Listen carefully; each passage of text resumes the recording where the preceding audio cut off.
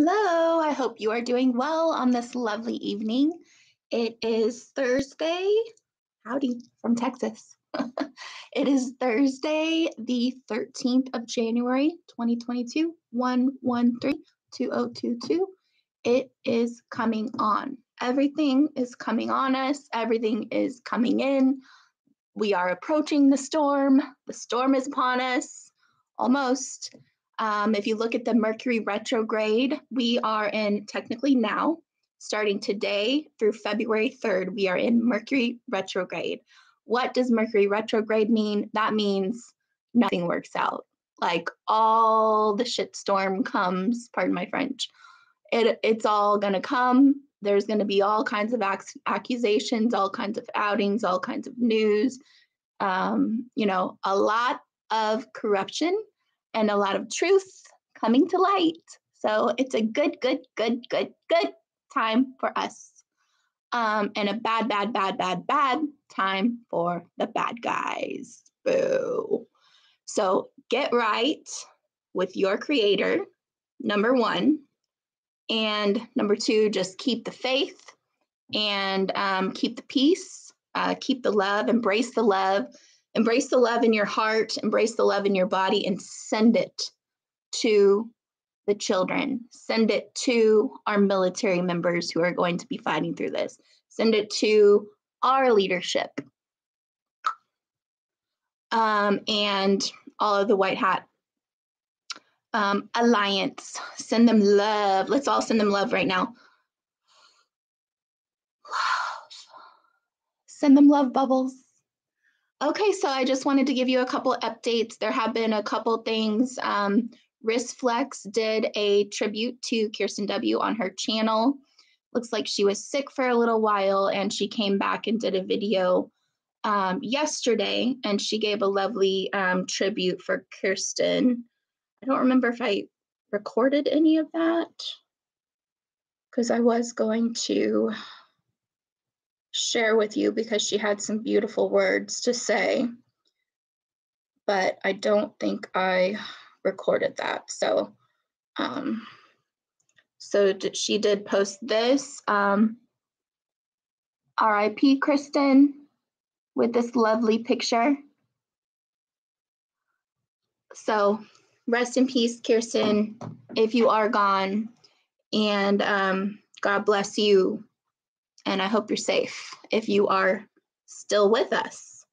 So, what I wanted to do was go ahead and address some of the things that are being said. Um, here's something that's being said.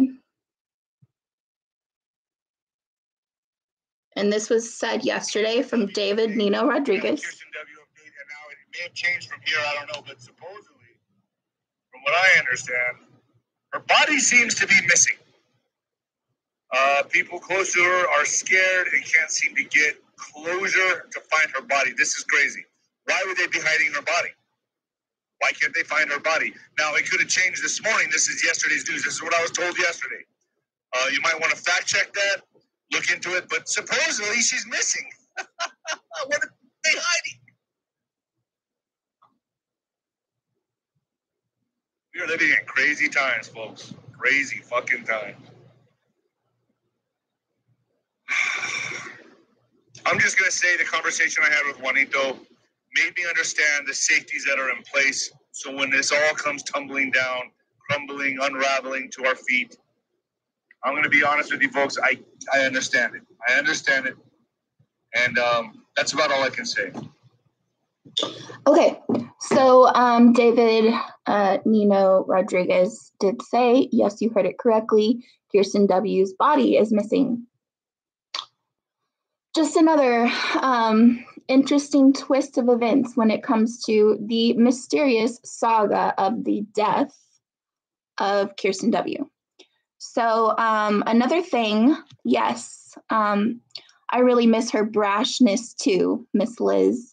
Thanks for tuning in. Um, so another thing um, to think about is I went out, I went back and I looked at, um, first of all, on that Nino news, um, that was reported as of the 12th. So I don't know if I haven't seen any more news come out today, but that her body was missing that was reported on the 12th, which was yesterday. So um, actually, he said yesterday, so that would have been news he got on um, the 11th. So as far as Scott, he did make a few comments, and I see that none of him them have addressed the possibility that she could be alive, which is kind of strange to me, honestly. I mean, I think it's kind of smells fishy to a lot of us. And especially, it seems like they want us to believe she's gone because it supports all the narratives. It supports the black hat narrative because then they can say, you know what they're saying, that she didn't get the, and she died and she's a QAnon, blah, blah, blah. So, um, so there's that. And then there's the white hat narrative that she's gone. So or is that the why not narrative? Are these people on the dark side? I don't know. but it does seem like her intel was good and she never really did put any false information in there. So I would love to um, guess that she would be on the white hat side. So um, no one has addressed number one, the fact that she could be alive, or number two, except for uh, Linda P, which I've given you the information on. Watch my previous videos if you haven't before. Um, you think she's still with us too? I kind of had that feeling. I mean, I asked my inner self, and my inner self said, yes, she's being protected right now. So I hope you're doing okay, Kirsten W. Um, but, you know, the other rumor that, well, there's three rumors that no one has talked about besides me.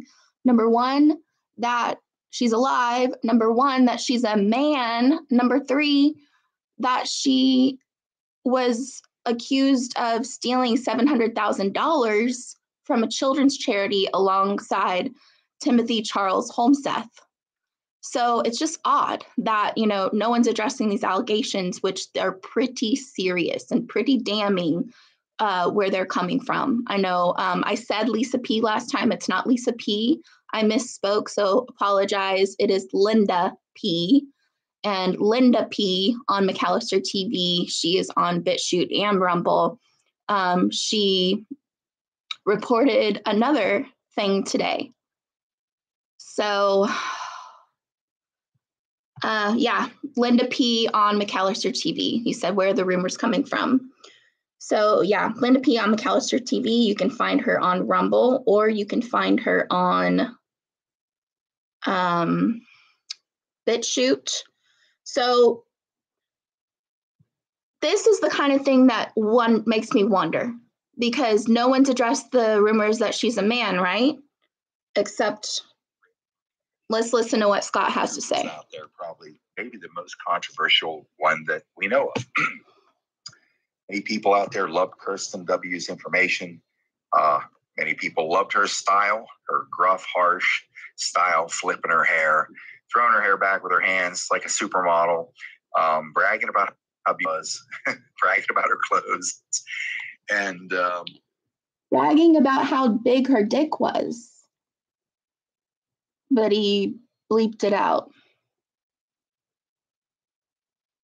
It's like a supermodel, um, bragging about how she was, bragging about her clothes, and um, so bragging about how big her dick was and she did make the comments that my dick is bigger than yours or you know she bragged about her dick. So is that is that just you know something a ballsy woman says or does that also lend credibility that she could be a man? Calling people out actually uh, you know truthers and people people and i you know i don't I say it like it is. You know, uh, that's a problem I had with her as well. Uh, she would attack truthers. I, I, hate that word though. God, I can't believe we use that. All right. So yeah, there's a lot of. Um, I feel like there's kind of some, some ego involved when it comes to SM there, but you know that's typically how it goes with some of these men. That's why I want more women to rise up and i am you know rising up i am bringing attention to this stuff because i think it's important i think a lot of us are um, you know trying to process through this information and stuff so I am asking questions that we're all kind of thinking. Um, I don't claim to represent anyone else. I'm not aligned with anybody. And um, I'm not telling you what to believe. I'm just presenting the facts. So, just for the record, I'm not accusing anyone of anything and not trying to stir the pot. I'm just trying to su- provide support that's not being provided right now because I don't see anyone having the courage to say the things that I'm saying right now, which is a little bit of a red flag. But, you know, as far as I can tell, if I had to guess, this is the white hat narrative. And then when you start questioning things and you start asking questions, people are like, let Kirsten rest in peace. Why are you gossiping? Why are you stirring things up? Why are you spreading rumors? Well, isn't that what we were trained to do? Isn't that how we've learned through this whole process of researching ourselves? Aren't we, excuse me, supposed to ask questions and, um, you know, not just accept what people say without any proof? And um, if there was proof, then we would have seen it by now. We would have seen a picture of a dead body. We would have seen a funeral. We would have seen, um, you know, there would probably be something looked into as far as her legal case and an autopsy being done. Well, apparently, an autopsy can't be done because her body is missing. So it does seem a little um, sketchy to me. Um, I do love Riss Flex. I love everything she shares, and my heart goes out to her.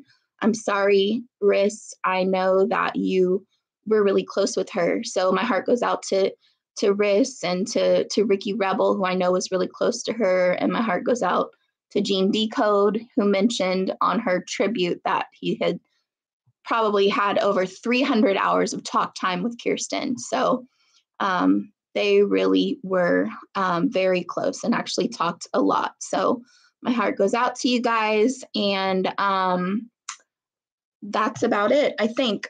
So there is another story. So remember how the last video that I said was the dark side of Kirsten and is Kirsten alive? And I went over the allegations from Linda P from BitChute saying that um, apparently there's allegations that Kirsten and Timothy Holmseth stole $700,000 from a charity that was owned by Field McConnell and Guy Brummel. So, if you need to know more about that, go back and my, watch my last video. It's very, very important. That's where all the allegations are.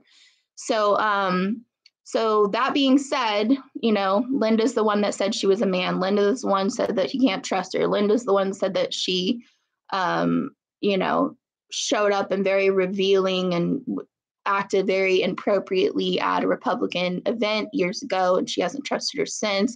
That she believes that she did steal the money. Um, so there's this. Um, so I told you Guy Brummel and Field McConnell, those are the two guys that owned the charity, right? And we know that Field McConnell ended up in jail, and I guess Guy Brummel is in jail too, which I think Field McConnell is free now.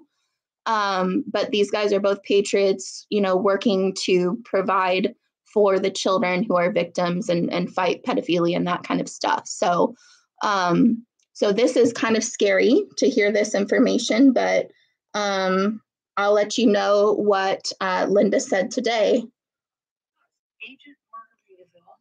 about Guy Brummel. Guy Brummel has there, there appears and the information I'm getting is there was an attempt on his life last night, and it was a poisoning thing. Something, and and I've I've got this. This is these are the pieces as I know them, and we'll see what Agent A1 has to say about it. Uh, so if you want to keep up with the situation, I highly advise um, you connect with Agent A1 and you Canadian people look for the tiger face. and it says agent underscore A1 at agent underscore A1. And everybody should, because I think pretty soon we're all going to be one country. I hope so.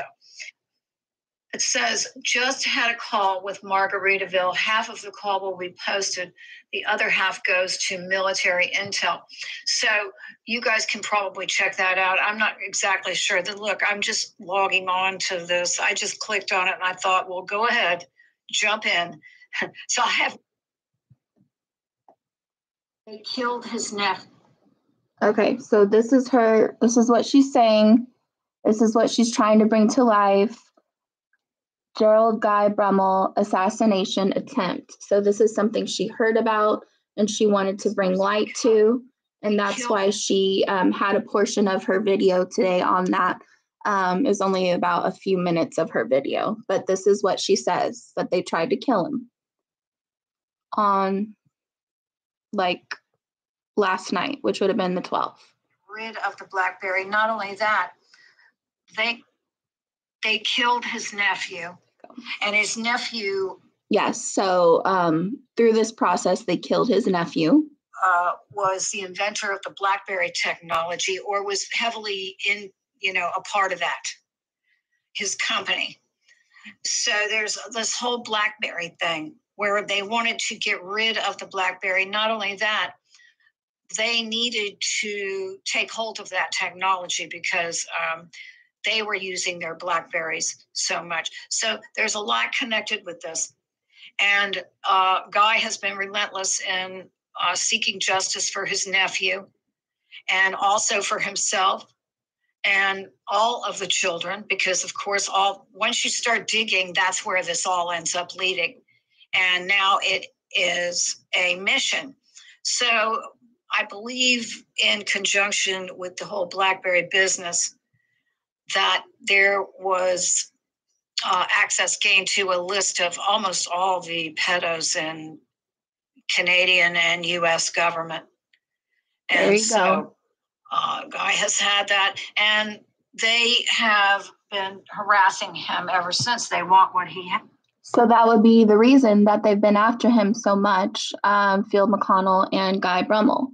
They literally have all of the um, internet and cell phone activity from US and Canadian governmental officials related to pedophilia. has. So uh, he they put him here and there. I've done interviews with my channel, and you'll see that I have done interviews, and they've been treating him pretty well. But apparently, he got no. This is what I heard. It's, don't hold me to this. I'm just telling you what I heard, and it could turn out to be something different. But from what I understand, he got two trays of food last night, which made him suspicious. And I don't know whether he sent both of them back or one of them back, but I think they gave uh, them to other prisoners, and one of the other prisoners died. So one of them got the poison one. so that's the way I'm hearing it. And now I'm just trying to put light on the situation. Okay. So that's the story. Um, there was a, an attempt on Guy Brummel's life, and apparently he is in jail. Um, and luckily he didn't eat it, but someone else did, and someone died. Um, so just bringing light to that um, that allegation as well. And um, I just wanted to give you a couple little updates. Um, yesterday, it was confirmed that 32 states um, have the National Guard activated. And today, I heard that it was all the states. And then I also heard that it was 48 states have the National Guard activated. So, um, why is my question? What they're saying is they're saying it is for COVID testing. And then um, Gavin Newsom mentioned for crowd control. And then, but they've said it was for COVID testing and civil disobedience to help regulate civil disobedience. Does that mean there's some big news coming out? Um, possibly. I mean, I don't know. That seems to be uh, what we're all wondering because that is what Mr. T told us that what was supposed to happen on the 6th did not happen. Many people think that was NESARA, but I don't know. Um, he was supposed to make have a press conference on January 6th, and it was canceled two days before. So that was um, he was obviously upset about that in his statement, and he was saying some of the important issues he was going to discuss that important issues that he was going to discuss on the 6th he would be discussing on the 14th in the arizona rally um, no the 15th that would be saturday this coming saturday. Um, so what's he going to say i don't know um, i wouldn't think that trump would be the one to announce the truth or you know with everyone because um, you know, we want the sleepers to believe it and they hate him. So um, I'm not sure what he's going to be announcing. And is this just for us or is this for everybody? Um, I think it's possible if they do censor his information, they could always take over the airwaves at any point. Um, so, what is the National Guard in place for? by the way, they're on yellow status. So he, um, so they can have within 15 minutes anywhere in one of these 48 states, they can have response. That's what they're there for. Um, the National Guard, they can respond within 15 minutes. So, um, the other thing was the CDC came out and admitted yesterday that only 6% of the deaths they reported were actually from coronavirus. So I'm not sure where people are, what ground people are standing on anymore if the tests don't work and the deaths aren't real. Um, possibly only discla- misclassified because we all know that in 2020 there were no more deaths as usual. It was actually less than usual, the total number of deaths in the US. Now it didn't start going up until 2021, until they rolled out the. And now the CDC is saying that only 6% of the numbers are true they lied on 94% of them. So looks like the truth is coming out. Um, UK data also released a study, and they, this was on the news because they are telling the truth about this. They released a study that um, people with the are over 250 times more likely to get C word